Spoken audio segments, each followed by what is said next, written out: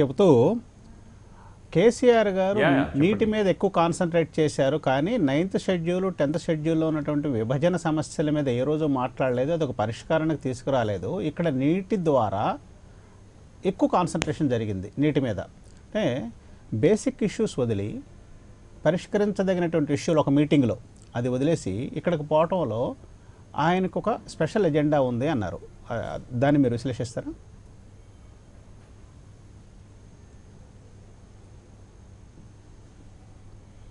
ఇక్కడ ఒక్క విషయం అండి. ఇక్కడ కేసీఆర్ గారు జగన్మోహన్ రెడ్డి గారు కూర్చొని ఒక సానుకూలమైన వాతావరణంలోకి వచ్చిన తర్వాత కేంద్రంలో ఉన్న హోంశాఖ కూడా వాళ్ళకి సహకారం అందించి ఇద్దరి మధ్య ఉన్న ఇష్యూస్ని సెటిల్ డౌన్ చేయాలి. ముఖ్యంగా మీరు చూస్తే కేసీఆర్ గారు జగన్మోహన్ రెడ్డి గారు ముఖ్యమంత్రి అయిన తర్వాత కేసీఆర్ గారు జగన్మోహన్ రెడ్డితో సత్సంబంధాలు నేర్పుతున్న భాగంలోనే భాగంగా జగన్మోహన్ రెడ్డి గారు కూడా సెక్రటేరియట్లో ఉన్న ఒక రెండు బ్లాకుల్ని కూడా నిరభ్యంతరంగా కూడా తెలంగాణ ప్రభుత్వానికి ఇవ్వడానికి కూడా ముందుకెళ్ళిన సందర్భం కూడా మనం చూసాం. అయితే మీరు ఇక్కడ ఒకటి అబ్జర్వ్ చేయాల్సింది ఏంటంటే నదీ జలాల పంపిణీ కానీ నీటి జలాల పంపిణీ కానీ ఈరోజే కాదు ఆ రోజు రాష్ట్రం విడిపోతున్న సమయంలో కూడా మీకు సమస్యలు నీటి సమస్యలు వస్తాయి తీవ్రంగా వస్తాయని చెప్పి చాలామంది నిపుణులు హెచ్చరించడం జరిగింది. అయితే ఏపీ రీఆర్గనైజేషన్ యాక్ట్ ఏదైతే ఉందో దాని ఇంప్లిమెంటేషన్కి ఈ రోజుకి కూడా తెలంగాణ ప్రభుత్వం కూడా డిమాండ్ చేయాల కేంద్ర ప్రభుత్వాన్ని మీరు అబ్జర్వ్ చేస్తే. అయితే గత నాలుగు స- నెలలుగా ఆరు నెలలుగా కేసీఆర్ గారు రాష్ట్ర ప్రభుత్వం ఏర్పడిన తర్వాత రెండోసారి ఏర్పడిన తర్వాత క్రమక్రమంగా మీరు చూస్తే ఆయన ప్రజల విశ్వాసాన్ని కోల్పోతున్నారు అనే దానికన్నా అంటే ఇప్పటికిప్పటికే కోల్పోతారని చెప్పలేం కానీ బీజేపీ బలపడే సంకేతాలు చాలా గట్టిగా వెళ్తున్నాయి. మీరు అబ్జర్వ్ చేస్తే బీజేపీ ఆపరేషన్ తెలంగాణ స్టార్ట్ చేసింది. చాలా కీలకమైన నాయకులను ఒక్కొక్కరిని కూడా పార్టీలో చేర్చుకోవడం దగ్గర నుండి గత ఎన్నికల్లో నాలుగు పార్లమెంట్ స్థానాలను చేజెక్కించుకున్న తర్వాత కేసీఆర్ గారి తాలూకా వ్యవహార శైలిలో కొంత మార్పు కనిపించింది. ఏంటా మార్పు అని అంటే నేను జగన్మోహన్ రెడ్డి గారితో సఖ్యతగా లేకపోతే జగన్మోహన్ రెడ్డిని నేను నా వైపుగా టర్న్ చేసుకోలేకపోతే రేపు టన్న రోజున భవిష్యత్తులో నా కొడుకు తాలూకా భవిష్యత్తు అనేది ఇబ్బంది పడే అవకాశాలు ఉన్నాయి. ఇందాకలు కూడా మీకు చెప్పా ఎవరు కాదన్నా లేదన్నా కూడా తెలంగాణలో రెడ్డి సామాజిక వర్గం రాజకీయంగా బలమైన సామాజిక వర్గం ఆ సామాజిక వర్గం తాలూకా తోడ్పాటు లేకన్నా కూడా ప్రభుత్వాలను ఏర్పాటు చేయడం అనేది కొంత ఇబ్బందికరమైన వాతావరణమే ఉంటుంది. ముఖ్యంగా progressive Reddys and progressive Kammas communities కూడా మేజర్ కన్స్ట్రక్షన్స్ ఇండస్ట్రీస్లో కావచ్చు వ్యాపారాల్లో ఉండడం వల్ల సత్సంబంధాలు కోరుకునే వ్యక్తుల్లో వీళ్ళు ఉంటారు జనరల్గా మీరు అబ్జర్వ్ చేస్తే.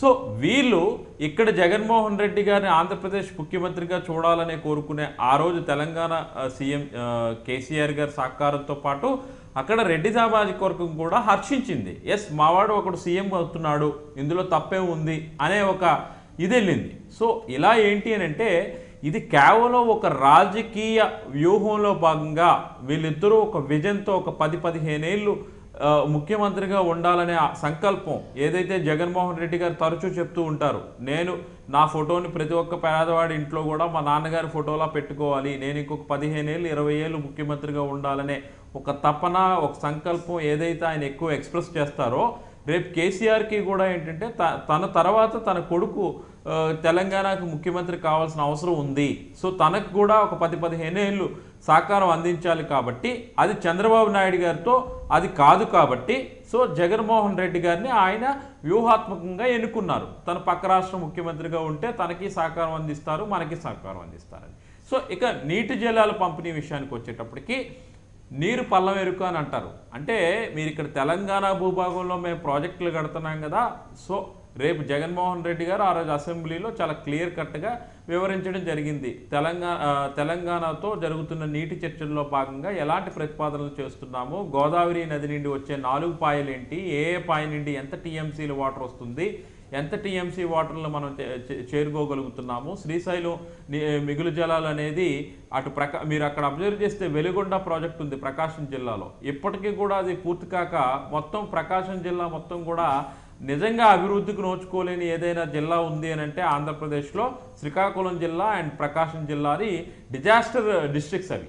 సో ఇలాంటి వ్యూహాలతో వెళ్ళి ఒకరికొకరు పరస్పరంగా సహకరించుకునే భాగంగా మా ఇద్దరం ఒక ప్రపోజల్ని ఒక మేము ముందు ఉంచుతాము దీనికి నీటిపారుదల నిపుణులు కూడా సహకరిస్తారు. వాళ్ళ తాలూకు ఒపీనియన్స్ కూడా తీసుకుంటాము. రాష్ట్ర ప్రయోజనాలను తాకట్టు పెట్టే పరిస్థితి అయితే తీసుకురాము. అంత అనాలోచిత నిర్ణయం అయితే తీసుకుంటే మాత్రం ఇప్పుడు మనమే ఆలోచిద్దాం. ఒక పదిహేను ఏళ్ళు ఇరవై ఏళ్ళు ముఖ్యమంత్రిగా ఉండాలి అనే ఒక బలమైన కోరిక కలిగిన వ్యక్తి తను ఎన్నికైన ఆరు నెలల్లోనో ఏడు నెలల్లోనో ఒక తప్పుడు నిర్ణయం తీసుకొని తన రాజకీయ భవిష్యత్తును తను సమాధి చేసుకునే పరిస్థితి ఉండదు కదా.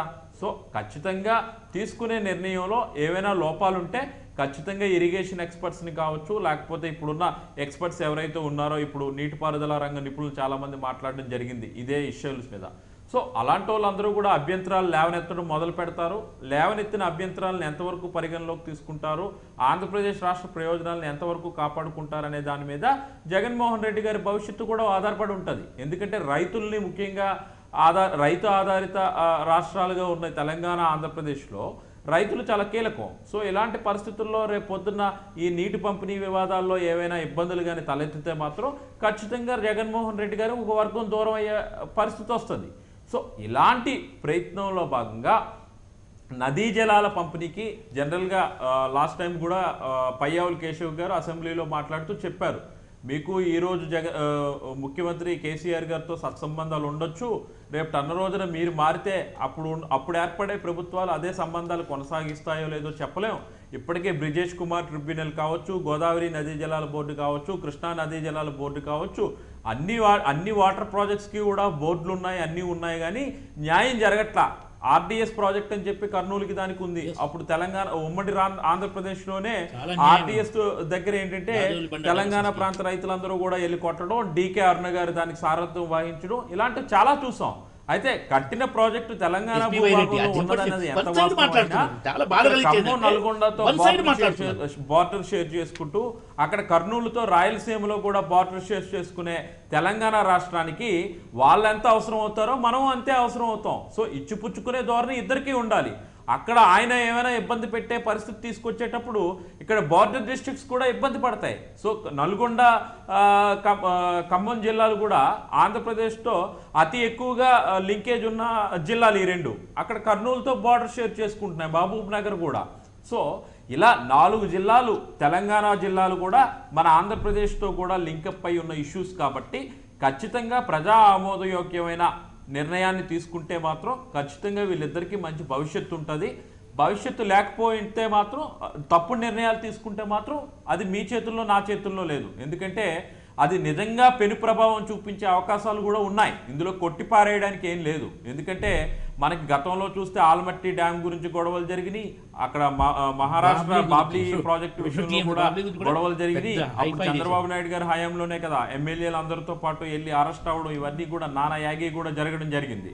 ఇక్కడ ఒరిస్సా కూడా పోలవరం మీద అభ్యంతరాలను లేవనెత్తుతూ ఉంది. తెలంగాణ ప్రభుత్వం కూడా పోలవరం మీద కొన్ని కేసులు కూడా వేసింది. వాటిని విత్డ్రా చేసుకుంటానని కూడా స్పష్టంగా చెప్పడం జరిగింది. సో ఇలాంటి సందర్భాన్ని మనం ఆహ్వానిద్దాం. అయితే తప్పులు జరిగేటప్పుడు ఖచ్చితంగా ప్రశ్నించాల్సిన బాధ్యత అందరి మీద ఉంది కాబట్టి ఒక కన్స్ట్రక్టివ్గా ఏం చేస్తే బాగుంటుంది ఎలా చేస్తే బాగుంటుంది అనేది ఏదో మనం చెప్పడం అయితే తప్పులేదు.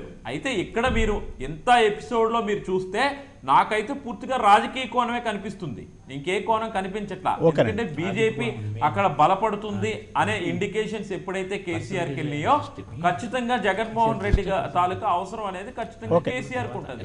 అదే. బీజేపీకి కూడా జగన్మోహన్ రెడ్డి గారు అవసరం ఉంది. ఎందుకంటే వాళ్ళు ఆంధ్రాలో ఇంకా పూర్తి స్థాయిగా బీజేపీ బలోపేతం అవ్వడానికి అవకాశం లేదు కాబట్టి తెలంగాణలో జగన్మోహన్ రెడ్డి గారి అవకాశ అవసరాన్ని వాడుకొని తెలంగాణలో బీజేపీ పలగ బల- బలపడడానికి రెడ్డి సామాజిక వర్గాన్ని దగ్గర చేసే అవకాశాలు ఉన్నాయి కాబట్టి కేంద్ర రాష్ట్ర ప్రభుత్వాలు కూడా జగన్మోహన్ రెడ్డి గారి మీద ఒక సానుకూలమైన అవ- సానుకూల చూపే అవకాశాన్ని కూడా మనం కొట్టిపారేయలేము ఇక్కడ.